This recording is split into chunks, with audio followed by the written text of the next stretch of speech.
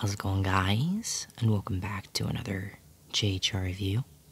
Today, we're going to be looking at the Maono rechargeable condenser lavalier microphone. This is the AU100R version, and this was sent to me by Maono, and I'm actually really happy because I've been wanting one of these lavalier mics for, like, you know, doing my vlogs and whatnot, and not having to, you know, rely just on the in, you know, in phone camera. So let's go ahead and see this side right here. It says it's good for video shooting, presentations, interviews, and doing selfie cam video, which is probably what I'll be doing with the uh, LG V60 I have because that has an 8K, no, no, 4K front facing camera. Let's go ahead and rotate it around and look closer at this. So, this is what the back of the box looks like. We got a description and some specifications if you want to pause so you can get all the specifications on there, I'll go ahead and zoom in real quick so you guys can get a really good look. Has a rechargeable battery, and the audio cable is 20 feet. Uh, That's quite long. Let's go ahead and move this back out. And without further ado, let's go ahead and open this guy up and test it out.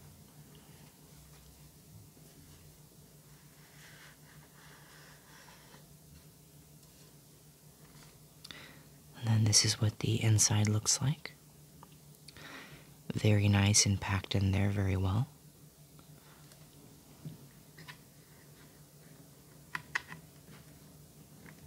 Has a little pull tab. Just a kind of plastic sheet to cover it. And then we'll pull this out as well. And wow, yeah, there's a lot of cord there. Look how much cord there is. Comes with a rechargeable USB.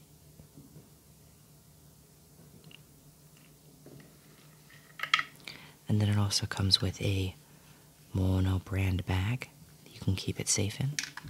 It's a little drawstring so you can tighten it up.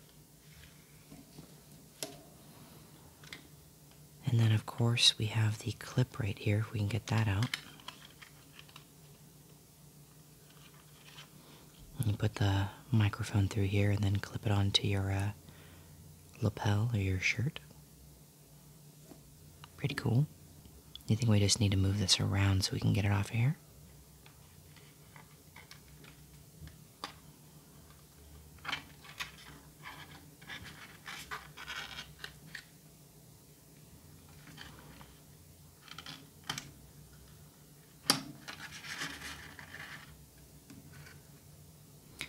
It looks as though it came with an attachment to hook it up to like a. What are those? Like a, a amp almost. That's crazy. But you can just pop that out to get the 3.5 millimeter. And it also came with a little uh, kind of wind blocker. Or the PNS's blocker, more like. Let's go ahead and put it on there. Slides on there pretty tight, so I don't think that this thing's gonna be coming off. Yeah, it's going on there pretty well. The hole is really small, so I should be able to be on there pretty tight. So this is what the microphone looks like. It's pretty nice. And then this is the kind of base of operation is the middle point then the other end connects to the 3.5 millimeter jack. So if we zoom in right here, has the off and on switch.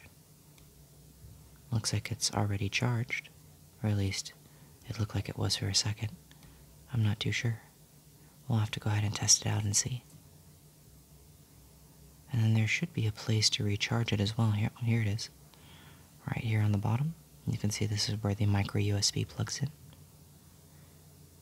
Yeah, let's go ahead and plug this into my phone and we'll go ahead and see how it sounds. This is the audio test of the Maono microphone. I have it attached to my shirt right now so you can get a good gauge of how it would be picking up if it was being used for normal use.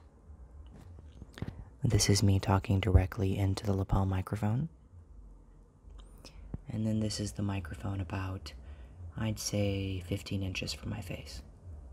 Not too bad if I don't say so myself. It's very bassy, but it also it's very realistic, and I really like how it picks up my voice.